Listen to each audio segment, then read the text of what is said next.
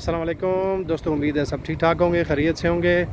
अभी तक की जो अपडेट है तो मैंने सोचा आपसे शेयर कर लें। लाहौर में पीटीआई का जलसा, पीटीआई की रैली स्टार्ट हो चुकी है।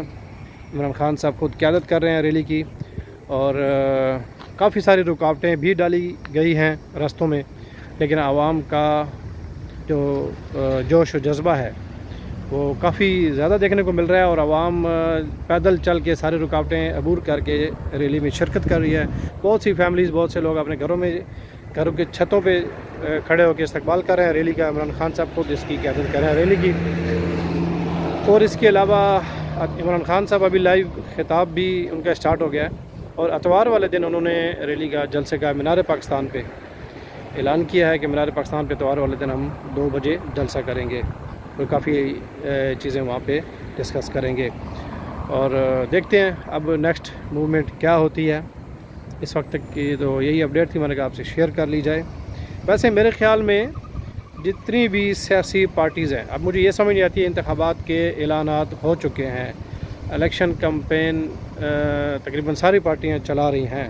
तो ये पीटीआई को इनके जलसे जुलूस या इनकी रिलीज़ वगैरह पे रुकावटें खड़ी करना ये नामुनासिब सी बात है। और मेरे तो ख्याल में ये जितनी भी सियासी पार्टी होती हैं, जब भी जो भी इकतदार में आता है, वो दूसरी ही पार्टियों को पिछाड़ने के उस पर चल पड़ता है। तो मेरे ख्याल में ये रीत, रवाज गलत है। फेयर तरीके से हर किसी को हक बनता है, वो अपनी कंपेन चलाए, अपने मुतालबात रखे, अपनी जो भी कोशिश है वो करे, और सही फेयर इलेक्शन हो इंतबात हों। और पूरी कौम जिसको चुने, वही इकतदार में आए और मुल्क और कौम की खिदमत करे। और इकतदार में आने के बाद ये ना सोचे कि कौन किस की पार्टी से है, बल्कि जितने भी, जिस भी पार्टी के वर्कर्स हैं, वो सब पाकिस्तान के अवाम हैं। और सारी आवाम का जो ज़िम्मेदारी है, सारी आवाम की जो ज़िम्मेदारी है, वो उसी वज़ी अजम पर होती है, वो जिस भी पार्टी का हो, जो इकतदार में होता है।